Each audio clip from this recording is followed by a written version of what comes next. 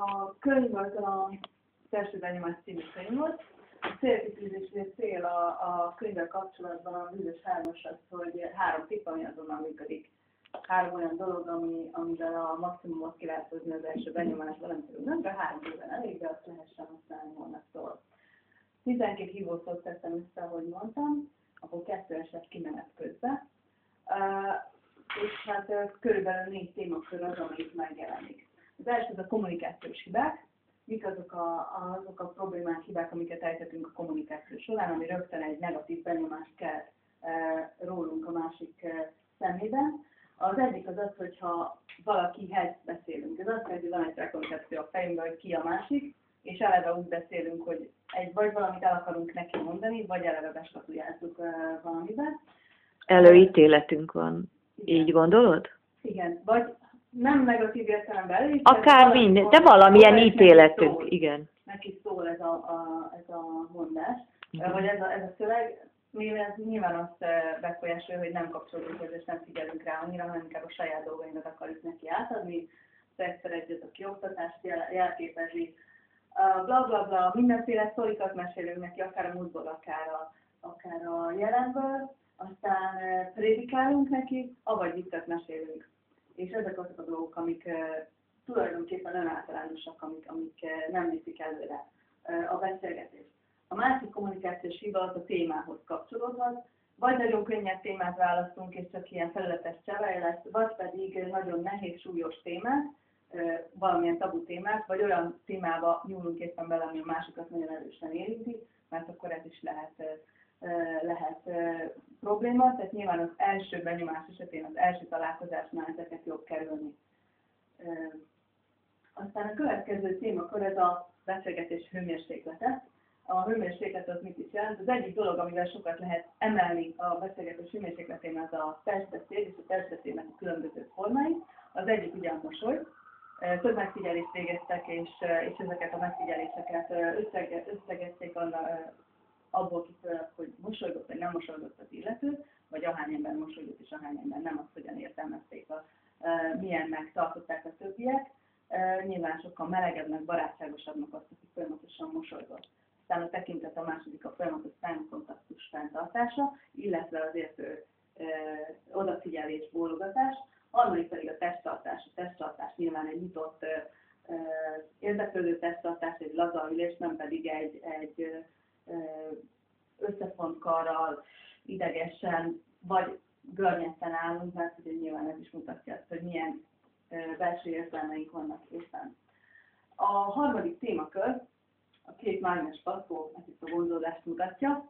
Tulajdonképpen a, a, a tartalomérték végig, végigolvasásakor volt egy ilyen alcím, hogy a szexualitás az első benyomás során. És ugye ez mindig jelen van, akár akarjuk, akár nem. Tudat alatt a, a saját nemünk, meg a szexualitásunk, a szexuális üzenetek, azok ott vannak benne mindenkinek a kommunikációjában. Lényegtelen az, hogy ez egy munkahelyi első benyomás, egy baráti találkozás, vagy esetleg mondjuk egy rendezvú. Tehát a kimenetelétől függetlenül azért ezek az üzenetek átmennek. Mi az, ami, ami segíti ezt a, ezt a kapcsolódást, ugye a vonzódás a kölcsönösséget mutatja két egymásra irányuló nyíl, azaz figyelni egymásra, ez pedig hogyan, az egyik az a folyamatos tekintet, a másik pedig a könnyű lágyérintés. Franciául a flirt az a lágyérintést jelenti, tehát hogyha mondjuk beszélgetés közben finoman megérintjük a másikat, mondjuk a karján, vállán, akkor ez igenis melegebbé teszi a beszélgetésnek a, a hangulatát, például végeztek egy kísérletet egy könyvtárban, ahol azt kérték a könyvtárost, hogy a, a könyvtárlátogatók közül néhányat érintsen meg, miközben átadja az olvasójegyet, vagy beszélget velük, a többieket ne. És utána pedig ejtse el a, a olvasójegyet, és nézze meg, hogy ki segít. És ezt számolták, hogy hányan segítőkészek, és hányan nem. És a segítőkészségnek az aránya azoknál, akiket megérintett, sokkal magasabb volt, mint azoknál, ahol nem volt semmilyen testi kontaktus előtte. A harmadik ilyen kapcsolatsegítő technika, az pedig az érdeklődő kérdések, amivel ezt a kölcsönös bizalmat és kölcsönös érdeklődést fenn lehet tartani. A másik téma még a szexuális vonzódás tárgykörében, az pedig az ablak a szívre, címszó alatt tudott. Ez tulajdonképpen azt jelenti, hogy ö, szeret, nem szeret virágot rajzoltam, mint tudjátok, amikor szépkedik Igen. A. Ö, Ez tulajdonképpen azt jelenti, hogy ha van valakiről egy képünk, hogy ő egy szimpatikus ember lesz, akkor valószínűleg ezzel a, ezzel a hittel megyünk az első benyomásba, az első találkozásba, és igenis, hogy ezt fogjuk majd tapasztalni, hogy ő szimpatikusabb, vagy ha valakiről már hallottunk, és van egy előfeltételezésünk, mert meséltek róla, hogy nem, nem egy szimpatikus ember, akkor, akkor is azokat a, azokat a jellemzőit fogjuk inkább észrevenni, ami beleillik a mi képünkbe róla. A másik pedig a, szintén a, a testtel kapcsolatos, ez pedig a saját testnek az elfogadása, illetve a, a szintén a testtartás. Harmadik rész, ez még csak egy picit, mert így elég sokat beszéltem már szerintem. A De nyugodtan, még szívesen hallgatjuk. Ö, merül fel, mert ugye azt mondjuk, hogy a, a szép emberek azok, vagy a, a jó megjelenésű emberek azok mind könnyebben kapnak állást, szimpatikusabbak, stb.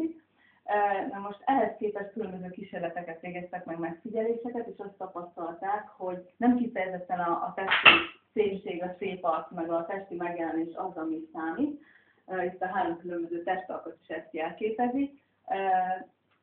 Tehát például nem egy kidolgozott testalkat, mondjuk a kicsit molettebb vagy a nagyon sovány görnyed ö, testalkatúval szemben, mert, mert hogyha valaki a testével rendben van, és egy, lehet egy, egy erősen túlsúlyos ember, és nagyon mosolygós, és nagyon kedves, és nagyon, nagyon egyensúlyban van magával, sokkal szimpatikusabb, mint egy kidolgozott testalkatú ember, aki viszont valami más sugar, sugároz saját magáról. A másik uh, ilyen terület az a testi hiba. Mindenkinek van valami, ami nem tetszik magában, és a Zero leír egy, egy találkozást egy fiatal emberrel, aki az egész beszélgetés során olyan kényszeredetten mosolygott, és nem volt igazán ön, igazán önkifejező, és igazán természetes a mosoly. A beszélgetés végén megkérdezte, hogy miért nem, és nyilván mindez rányomta a bélyegét az első benyomásra, mert ön tartózkodónak tűnt. És kiderült, hogy nagyon rosszul állnak a fogai és ezért ő nem mer mosolyogni, és nem is mosolyog, tehát nem mutatja ki a fogsorát. Mindazután, hogy ezt így elfogadta és feloldotta ezt a, ezt a gátlását, és egy, egy nagy meleg mosolyt eh, villantott mindenki felé, akármilyen csúnyák voltak a fogai, akkor is a melegséget meg a barátságosságot látták. Tehát eh, ez, hogyha ezzel el, tudja fogadni az ember ezt a saját eh, kis hibát, akkor onnantól kezdve azt a többiek már nem is veszik észre. És a harmadik ilyen befolyásoló dolog, ami nem a szépség, az pedig a stílus, mégpedig a kommunikációs stílus. A fegyver az itt az agresszivitást jelképezi, a labda pedig a játékosságot. Tehát nem mindegy, hogy milyen szavakat használunk, nem mindegy, hogy milyen tónusban beszélünk, hogy milyen, milyen hangszínben és milyen hangerővel. És mindezek együttesen befolyásolják az első benyomást, és a 60% mindig nem jutott eszembe, hogy mit jelent, de majd megkeresem. Az milyen témában volt a 60 százalék? Itt a, itt a kölcsönös egymásra hatás témában